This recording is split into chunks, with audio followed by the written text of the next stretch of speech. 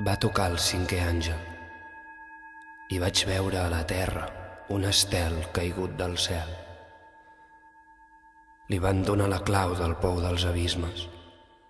Ell el va obrir i en va pujar una fumarada com la d'una gran fornal que va enfosquir el sol i l'aire. Llavors, de dintre la fumarada, en van sortir unes llagostes que s'escamparen per tota la terra. Les llagostes van rebre un poder com el que tenen els escorpins, però els van ordenar que no fessin mal ni a l'herba, ni a la vegetació, ni als arbres. Tan sols podien picar els homes que no portessin al front la marca de Déu. Els fou concedit no pas de matar-los, sinó de tormentar-los durant cinc mesos amb un turment com el que provoca la picada dels escorpins. Aquells dies els homes buscaran la mort i no la trobaran. Desitjaran morir, però la mort s'apartarà d'ells. Aquells dies els homes desitjaran morir, però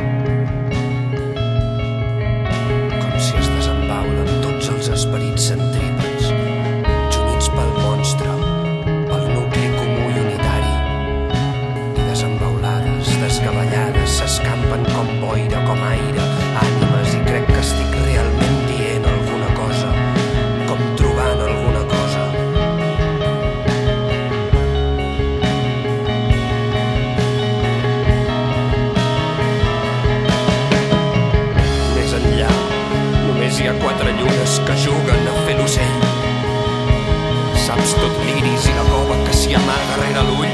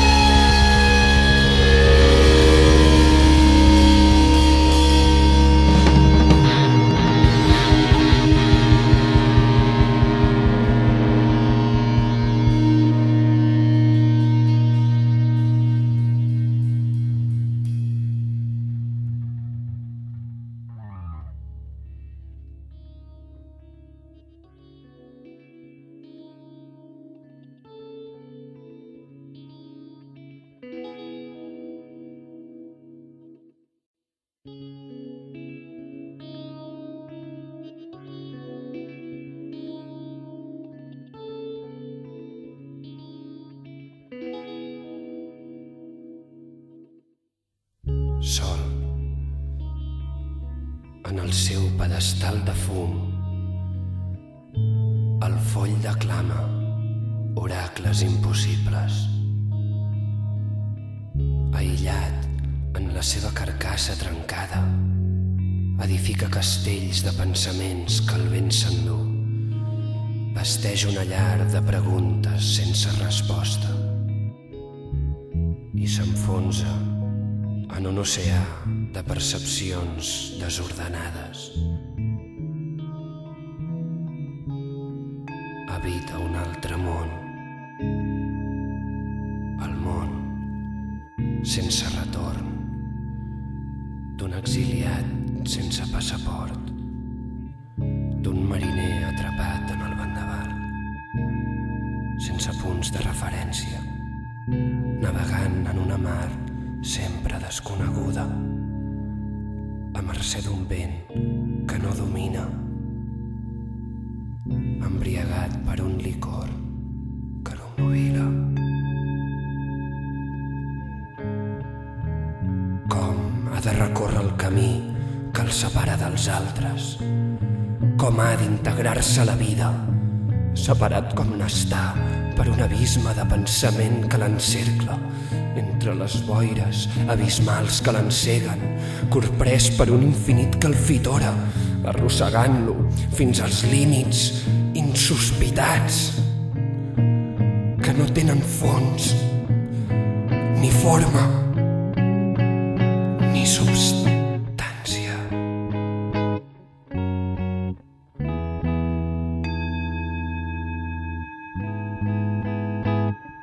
Que no tenen fons, ni forma, ni substància.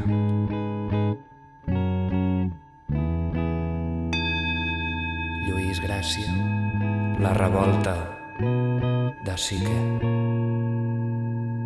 Una abraçada.